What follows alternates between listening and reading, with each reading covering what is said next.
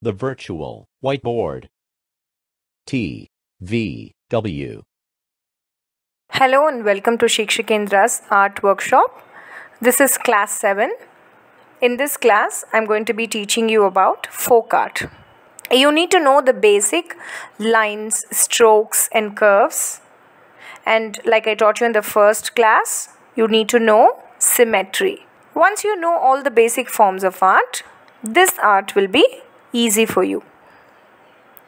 Folk art is a little bit higher version of the Warli art.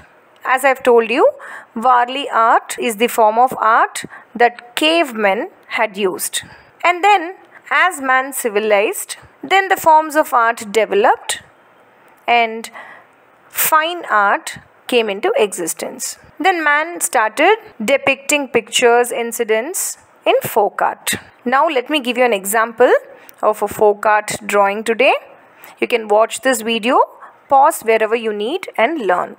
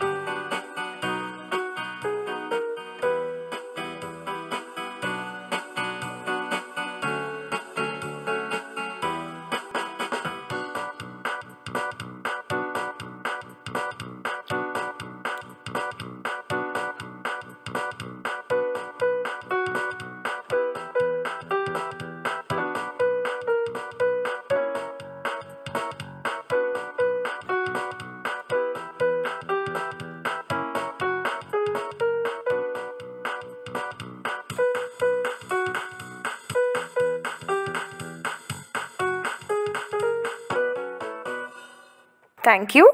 I hoped you all enjoyed learning folk art. Use your imagination creativity and come up with more of your own paintings. Thank you.